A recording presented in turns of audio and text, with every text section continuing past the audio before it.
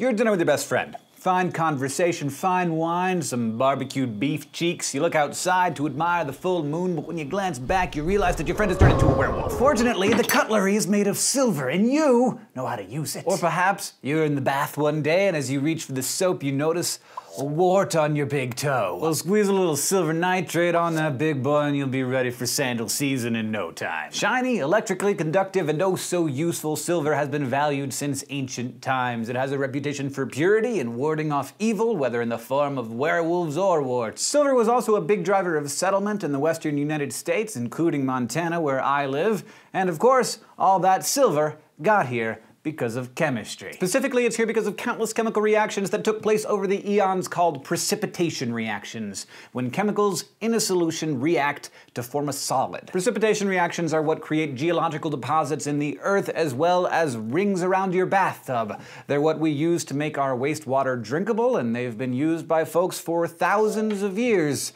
to get rich. Because precipitation reactions happen to be one of the best ways to produce chemicals of the highest purity. So they're not only the key to how silver was deposited in these mountains hundreds of millions of years ago, they're also the key to getting that silver back out. I can do it right here on this desk, and all I need to get started is this.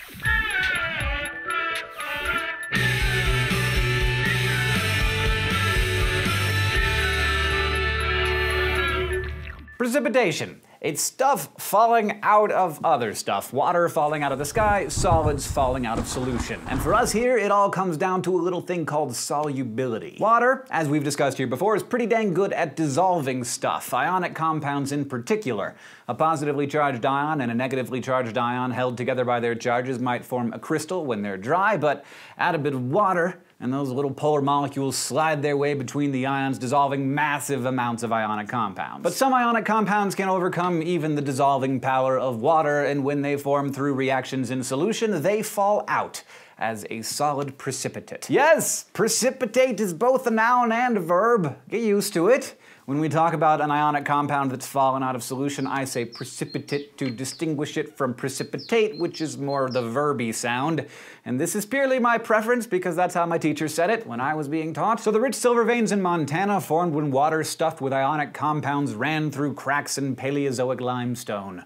Where conditions were right, silver ions in the water reacted with ionic compounds or salts in the limestone to make insoluble silver compounds that fell out of solution. And it looks a little bit like this. It actually looks exactly like this. It's pretty cool because uh, you can't feel this, but it is extremely heavy because silver is a pretty heavy element. And it wasn't just the silver salts in the solution, all kinds of stuff, gold and potassium and copper salts, and most notably sodium salts, are dissolved as water rushes across the landscape. If these dissolved compounds stay in solution until they get to the ocean, they pretty much stay there forever. The water evaporates, leaving the salts behind in the ocean, where over the eons it has built up leaving the ocean super salty as we know it today. And while sodium chloride, what we call salt when not doing chemistry, is the most common salt, there are also tons of other things dissolved in the ocean, including quite a lot of gold. In fact, at today's market value, the ocean contains about 100 million trillion dollars of gold. And that was not a stutter, 100 million trillion. That's 100 trillion with six more zeros after it. So you can see why it might be nice to master some precipitation reactions. There have been chemists that have driven themselves crazy trying trying to figure out how to economically extract gold from seawater, but thus far, none have done it. This solution here of silver nitrate is similar to that ion-rich water that seeped through the Montana limestone millions of years ago, and we can use it right here at this desk to recreate the ancient reactions that deposited silver in veins across our landscape. But instead of the types of salts found in limestone, we can use a very similar and substantially more familiar ionic compound table salt, good old NaCl. Add some drops of sodium chloride, also known as your salt water, to the silver nitrate solution, and there you see your precipitate. Ooh, gross. Now the question that we immediately want to ask is what is this white stuff down here? The key to understanding what just happened here is that both of the compounds are ionic. You remember there are two kinds of ions, right? Cations are positively charged and anions are negatively charged. Just like little bar magnets, they attract, so cations only react with anions to form new compounds. And don't just think that there's one anion and one cation. The sodium ion and sodium chloride will have chloride ions on all four sides, which in turn are surrounded by four sodiums, and this pattern repeats many, many, many times until we end up with the salt crystals that we dissolved in the water. But how do we know which ions are cations and which are anions? Well, sodium is positively charged, so it's a cation, and we know that it's positively charged because sodium is a metal from the left side of the periodic table and those are always cations when they're alone. Silver is also a metal and is also a cation. We know that chlorine is a gas from the right side of the periodic table, so that is an anion. Now what about the nitrate? Also anion. Nitrates, sulfates, and phosphates are really common, and they're always anions.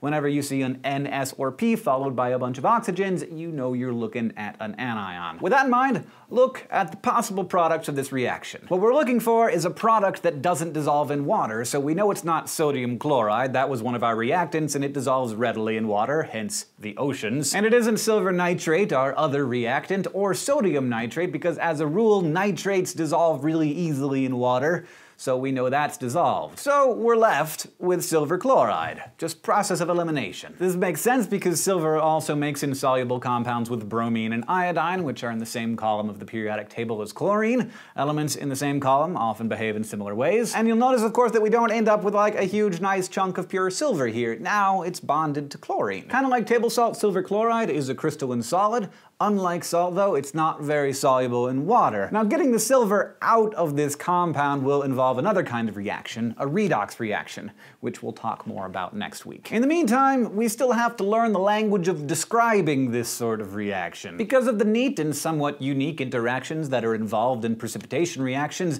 dissolved substances producing solids, ions, dissociating and rebonding, there are special ways to write and balance them as equations. One way is to include notations in parentheses parentheses that tells you what state the chemicals are in. AQ meaning aqueous or in solution, and S for solid meaning that it's your precipitate.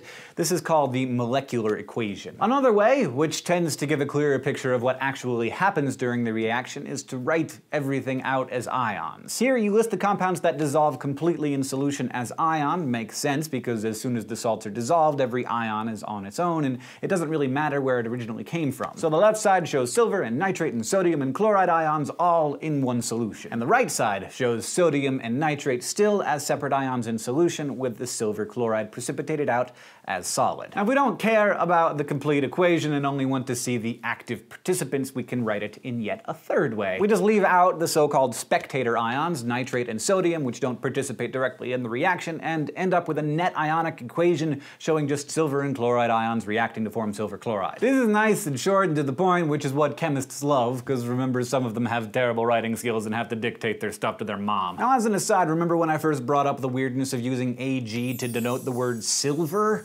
Well, all that stems from the fact that the Latin word for silver is argentum, and the ancient were, as most people are today, obsessed with what silver represented, not just wealth, but also health. Ancient Indo-Europeans associated silver with purity and goodness. Hippocrates, the ancient Greek doctor, wrote about silver's anti-disease properties. And there's good science behind silver's medical uses. A lot of metals are toxic to things like fungi and microbes, but unlike, say, lead, silver isn't that toxic to humans. Silver nitrate and a compound called silver sulfide sulfadiazine were used to disinfect wounds in World War I before antibiotics were discovered. Silver sulfadiazine is still used to dress burns. And researchers are now looking at the antimicrobial uses for silver nanoparticles. Some people even take colloidal silver, basically just silver particles in a liquid suspension as a kind of general health booster, but there's not actually any evidence that it boosts health. It can turn you blue though. Now you want that silver even more, don't you? Now, as we always do, in order to make a reaction practical, you have to go through the final step of converting the formula equation equation into a molar mass equation. If we wanted to get the silver out of solution, how much salt would we need? Specifically, let's say that we want to get one troy ounce of silver. The troy ounce is part of the troy weight system, which is used to weigh precious metals.